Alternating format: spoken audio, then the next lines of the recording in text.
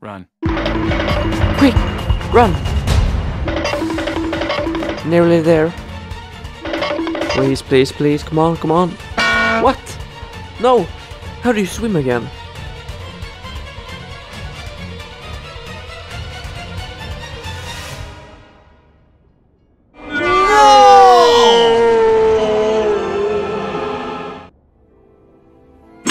This tragedy sadly occurs more than you would think, and therefore we are here today to handle this problem. Welcome to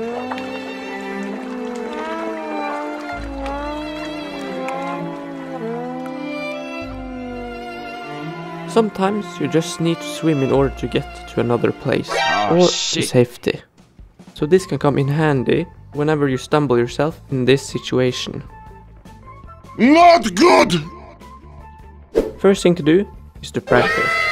And we can't mention this enough. So here is just a brief glimpse of it. Space is jump, but hold space to keep rising when in the waters. WASD, the movement, plus the aim, is there to help you navigate in those shallow waters. If you do it correctly, it should look something like this.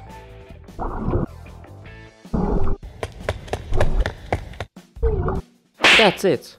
If you can do this, or should I say, keep your head over the water, you have done a fantastic job. Good on you.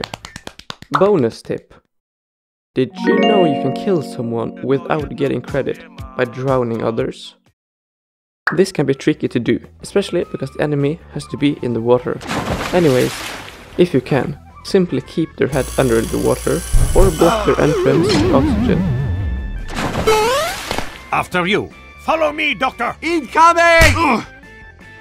I'm afraid not. Apologies. Good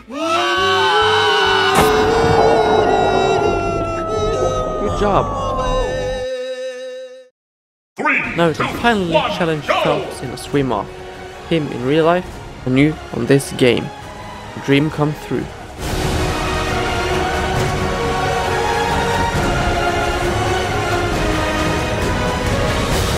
Out.